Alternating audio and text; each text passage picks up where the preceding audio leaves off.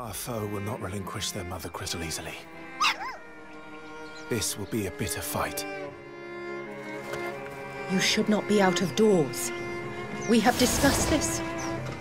Come, Joshua. Your father will be expecting us. I am Joshua's shield.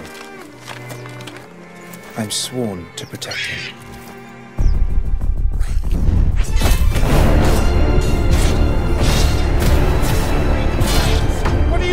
Refuse? Did you not pledge your swords to our cause?